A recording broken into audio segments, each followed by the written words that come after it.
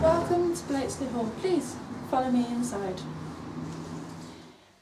Now, most people in the Tudor period lived in the countryside, and so when they became ill, they did not readily have access to medical professionals of the time, such as doctors or surgeons or even apothecaries. And so, as a result, life expectancy within the Tudor period was very low, only about 40 years of age. Responsibility would often fall to the woman of the house to make the remedies and to look after the sick, using recipes that she had learned off her mother and had been passed down through the generations.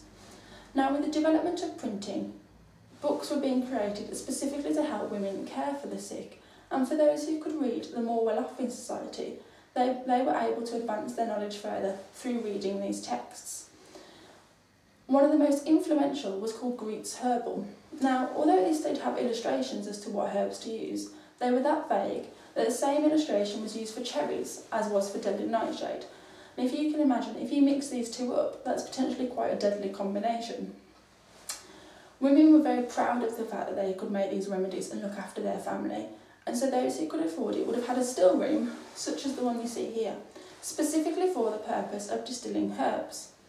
Lavender was cited as a herb that was particularly good for soothing the brain, so it would have been prescribed for things like anxiety, nervousness, vertigo, tremors and fainting and lavender oil was thought to be a very good stimulant for paralysed limbs.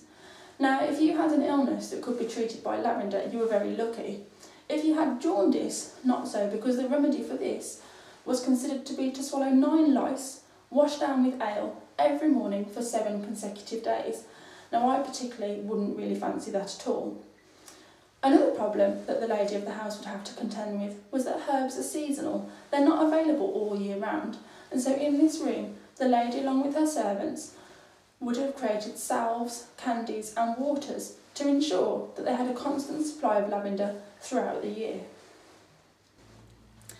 Now we know that lavender has had many unpleasant uses during the Tudor home. It was used to mask personal hygiene issues. It was also used to cover up bad smells coming from the home, as a pest deterrent and also as a cure for illness.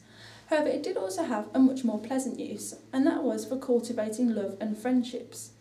It was said that on St Luke's Day, maidens would take a sip of a special lavender brew in the hope that this would divine to them the identity of their future husband.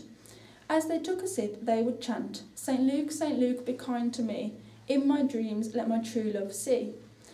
And they really believed that this would tell them who they were going to marry.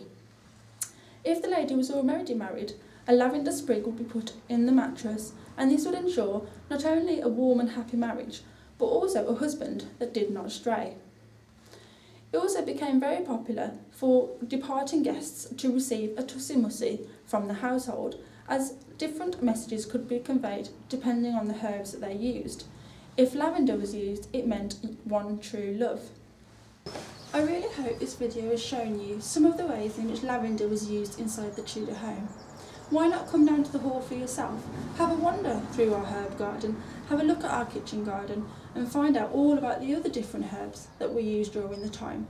Thank you for watching my video and we hope to see you very soon here at the hall. Goodbye.